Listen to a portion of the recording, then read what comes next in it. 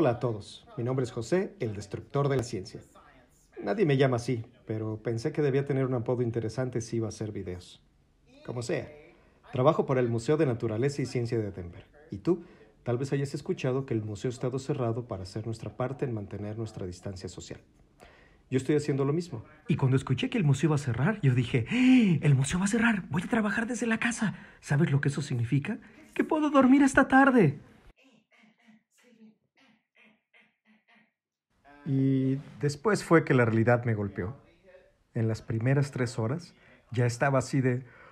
¡Ay, estoy tan aburrido! Hmm, tal vez haya algunas cosas alrededor de mi casa que pueda usar para hablar sobre ciencia y que pueda compartir algo de esa ciencia fascinante contigo hoy. Así que vamos a hacer una serie de experimentos muy divertidos Vamos a hacer una sustancia viscosa. Necesitamos agua, almidón de maíz y colorante vegetal. Vamos a experimentar con la ciencia y a tener mucha diversión. Vamos a hablar sobre líquidos no newtonianos.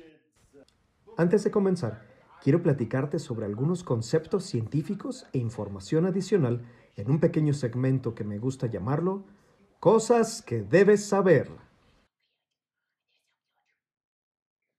En esta sección veremos información muy importante que nos ayudará a entender mejor nuestros experimentos.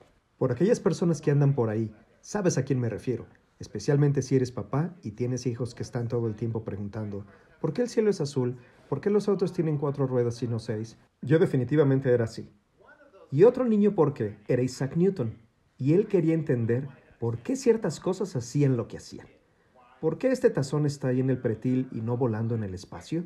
¿Por qué una pelota continúa rodando después de que la terminé de empujar? ¿Por qué los líquidos se comportan de la manera en que lo hacen? Esa era una de las cosas que Isaac Newton quería entender y él utilizó matemáticas para tratar de resolver todo eso. Algo que él exploró es algo que llamamos viscosidad. Cuando pensamos en la viscosidad, realmente estamos pensando en cuán rápido algo cambia. Usualmente, cuando pensamos en viscosidad, lo asociamos a líquidos. Primero, tengo aquí un poco de salsa de soya de mi refrigerador. Y puedes ver cómo la salsa de soya gira alrededor del envase. Puede salpicar y cambia su forma muy rápidamente.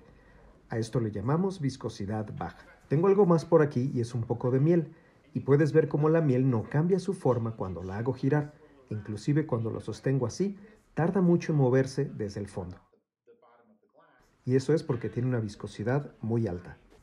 Cuando pensamos en los líquidos y su viscosidad, normalmente pensamos en líquidos ligeros, como el agua o la leche, que tienen una viscosidad muy baja. Y cuando pensamos en líquidos densos como la miel o miel de maple, esos no cambian su forma tan rápido. Recuerden, Isaac Newton quería averiguar cómo las cosas se mueven usando las matemáticas, así que desarrolló una ecuación para explicar cómo la viscosidad actúa cuando algo está en movimiento. A esto le llamamos la ley de la viscosidad de Newton, que dice, la fuerza por unidad de área es proporcional a la disminución de la velocidad con la distancia. Esto es mucha ciencia en solo una frase que ha salido de mi boca, pero básicamente lo que significa es que si tengo agua moviéndose en una fuente no muy rápido, tiene la misma viscosidad que el agua que sale de una manguera. La viscosidad del agua no cambia, por eso la llamamos líquido newtoniano.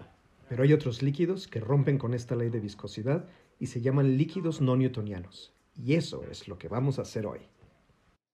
Ahora es el tiempo de nuestro experimento y vamos a hacer un poco de líquido no newtoniano. Vamos a utilizar materiales que probablemente ya tengas en casa y solo vamos a necesitar tres ingredientes.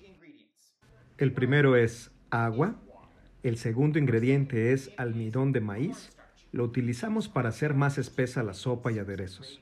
¿Recuerdas que dije que líquidos densos tienen una alta viscosidad? Y nuestro tercer ingrediente es colorante vegetal. Este va a ser nuestro líquido no newtoniano que se vea asombroso. Si no tienes colorante vegetal, no importa. Puedes solo usar el agua y el almidón de maíz. Muy bien, estamos preparados para hacer nuestro líquido no newtoniano. Me puse un mandil para proteger mi ropa, pues esto puede ser un poco sucio. Sobre todo si lo vas a hacer con niños pequeños, puede que hagan algo de tiradero. O si lo haces con unos más grandecitos, que también les guste hacer tiradero. También te recomiendo que pongas algo de papel periódico en el pretil. Te recomiendo que hagas este experimento en la cocina. Vamos a utilizar una proporción de 2 a 1. Eso significa que por cada parte de agua vamos a tener dos partes del almidón de maíz. Estoy usando un cuarto de taza de agua, por lo tanto voy a usar media taza de almidón de maíz. Puede que necesites agregar un poco más de agua o de almidón de maíz una vez que la mezcla esté casi completa. Puedes poner en pausa el video si necesitas un poco de tiempo. No necesitas hacerlo al mismo tiempo que yo. Así que vamos a empezar. Vamos a agregar el agua a un tazón. Ahora es tiempo de agregar un poco de color al agua. Voy a escoger el azul porque es mi color favorito. Voy a poner una, dos y tres. Lo voy a mezclar para hacer mi agua de un color azul muy bonito. ¿Lo ven? Ahora voy a empezar a agregar el almidón de maíz, pero solo voy a agregar el almidón de maíz de un poquito a la vez. No lo quiero poner todo junto. Agrego un poco del almidón de maíz a mi agua y lo voy a empezar a mezclar hasta que la mayoría de los grumos se haya disuelto. Agrego un poco más del almidón de maíz y ahora puedes ver que empiezo a tener esta mezcla extraña que se empieza a formar al mezclar el agua y el almidón de maíz. Y de hecho, comienza a ser un poco más difícil para mí mezclarlo con la cuchara. Y esto es porque se está convirtiendo en un líquido no newtoniano. Voy a agregar lo último de mi almidón de maíz y esta es mi parte favorita. No puedo seguir usando mi cuchara para mezclarlo, así que voy a usar mis manos. Voy a meter la mano y a empezar a tratar de mezclarlo a mano. Puedes ver que está haciéndose cada vez más denso y pegajoso conforme se va mezclando el almidón de maíz, y esa es la textura que estamos buscando. Si tu mezcla está un poco ligera, agrega un poco del almidón de maíz. Si está muy densa, agrega un poco de agua. Sabrás que lo has mezclado bien si mueves tus dedos por encima y se hacen pequeños huecos siguiendo tus dedos. Si ves, al hacerlo se hacen unos huecos a pasar mis dedos por encima de la superficie de la mezcla. Así es que sabemos que tenemos una muy buena mezcla. Ahora estoy listo para jugar con ella mientras te platico sobre los líquidos no newtonianos. De hecho, puedo agarrar la mezcla así y hacer una bola con ella. Y eso es porque estoy cambiando la viscosidad del líquido mientras lo estoy apretando. Eso es lo que lo identifica como un líquido no newtoniano. Recuerda, mientras más viscoso sea, menos quiere cambiar. Entonces, al mover mi mezcla realmente no quiere cambiar mucho.